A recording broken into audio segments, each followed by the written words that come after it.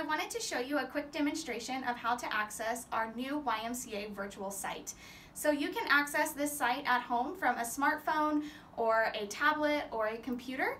Um, I will show you step by step how to do that. It gives you access to our live stream classes as well as our bank of videos that we are continuing to grow. So come on over here so I can show you how to access it on my phone here. You go to ymcafw.org, so our regular YMCA homepage. You hit go, it'll take you here.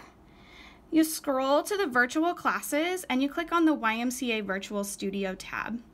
Here, it'll take you to the home page where you need to access, um, you have to put your barcode, which is located on your scan code when you come in at the front desk. So I'm gonna do that real quick. And you hit enter virtual Y. It's coming, I promise.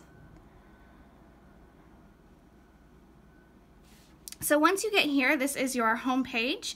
You can select live streams or you can select videos. Um, there are also various options. We've got featured videos here if you just want to scroll through and see what those are.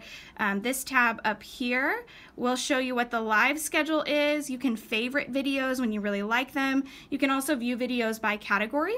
Um, so let's go to our live schedule because right now we have body combat going on with Cat. So I just wanted to show you what that looks like. You just click on the link and it says live here, Thursday, April 1st, 2021. It started at 10.15 a.m. It's for all levels. It's a cardio class. Hold on, sometimes I have to hit refresh here and it'll pop up, I promise. Here it goes.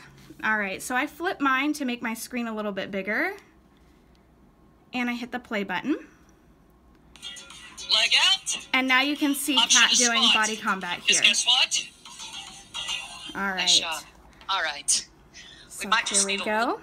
So that is how you access our live stream. Um, so I would love for you guys to check it out. Um, if you are a paying member of the YMCA of Fort Worth, this is totally free for you. It is included in your membership, so take advantage if you have to be at home. You've got sick kids at home, maybe there's a snowstorm, you never know.